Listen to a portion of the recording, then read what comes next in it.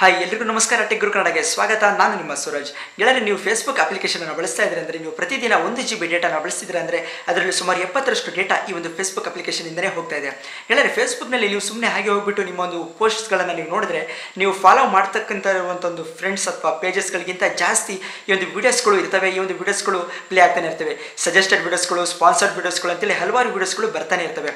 ಗೆಳೆಯರೆ, ಇದರಿಂದ ಏನಾಗುತ್ತೆ ಅಂದರೆ ಈ ಒಂದು ವೀಡಿಯೋಸ್ಗಳು ಆಟೋಮೆಟಿಕ್ ಆಗಿ ಅಪ್ಡೇಟ್ ಆಗಿಬಿಟ್ಟು ನಮ್ಮ ಒಂದು ಡೇಟಾ ನಾವು ನೋಡದೇ ಇದ್ರು ಕೂಡ ಆಟೋಮೆಟಿಕ್ ಹೋಗ್ತಾ ಇರುತ್ತೆ. ಇದರಿಂದ ಫೇಸ್ಬುಕ್ಗೆ ತುಂಬಾ ಲಾಭ ಆಗ್ತಾ ಇದೆ. ಸೊ ಇವತ್ತಿನ ವಿಡಿಯೋದಲ್ಲಿ ಒಂದು ಆಟೋಮೆಟಿಕ್ ಆಗಿ ಅಪ್ಲೋಡ್ ಆಗುವಂಥ ಒಂದು ವಿಡಿಯೋಸ್ಗಳನ್ನ ಹೇಗೆ ನಿಲ್ಲಿಸೋದು ಅಂತ ಹೇಳಿ ತಿಳಿಸ್ಕೊಡ್ತೀನಿ. ಅದಕ್ಕೂ ಮುಂಚೆ ನೀವಿನ್ನೂ ನಮ್ಮ ಚಾನಲ್ನ ಸಬ್ಸ್ಕ್ರೈಬ್ ಮಾಡಿಲ್ಲ ಅಂದರೆ ನಮ್ಮ ಚಾನಲ್ಗೆ ಸಬ್ಸ್ಕ್ರೈಬ್ ಮಾಡ್ಕೊಳ್ಳಿ. ಬನ್ನಿ, ಶುರು ಮಾಡೋಣ. ಎಸ್ ಮೊದಲಿಗೆ ನೀವೇನು ಮಾಡಬೇಕಾಯ್ತು ಅಂದರೆ ನಿಮ್ಮ ಮೊಬೈಲಲ್ಲಿರುವ ಒಂದು ಫೇಸ್ಬುಕ್ ನೀವು ಓಪನ್ ಮಾಡಿ.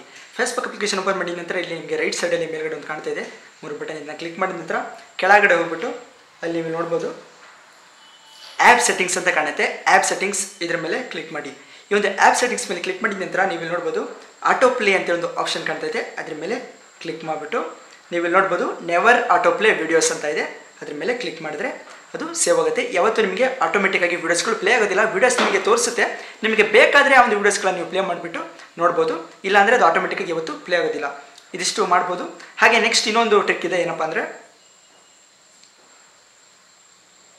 ನೆಕ್ಸ್ಟ್ ಅಲ್ಲೇ ನಿಮಗೆ ಕೆಳಗಡೆ ಒಂದು ಡೇಟಾ ಸೇವರ್ ಅಂತ ಕಾಣುತ್ತೆ. ಅದ್ರ ಮೇಲೆ ಕ್ಲಿಕ್ ಮಾಡಿದ್ರೆ, ಇಲ್ಲಿ ಡೇಟಾ ಸೇವರ್ನ ನೀವು ಆನ್ ಮಾಡಿದ್ರೆ ನಿಮ್ಮ ಒಂದು ಡೇಟಾನ ನೀವು ಉಳಿತಾಯ ಮಾಡ್ಬೋದು. ಇಲ್ಲಿ ನೋಡ್ಬೋದು ಏನಂದರೆ ಇಮೇಜ್ನ ಒಂದು ಸೈಜ್ನ ಒಂದು ಕ್ವಾಲಿಟಿ ಏನಿದೆ, ಅದನ್ನು ಕಡಿಮೆ ಮಾಡುತ್ತೆ. ಹಾಗೆ ವಿಡಿಯೋಸ್ ಕೂಡ ಆಟೋಮೆಟಿಕ್ಕಾಗಿ ಪ್ಲೇ ಆಗೋದನ್ನು ನಿಲ್ಲಿಸುತ್ತೆ ಎರಡೂ ಒಂದು ಆಪ್ಷನ್ಗಳನ್ನ ನೀವು ಆನ್ ಮಾಡ್ಕೊಂಡ್ಬಿಟ್ಟು ತುಂಬ ಸುಲಭವಾಗಿ ನಿಮ್ಮ ಒಂದು ಡೇಟಾನ ನೀವು ಉಳಿಸ್ಕೋಬೋದು.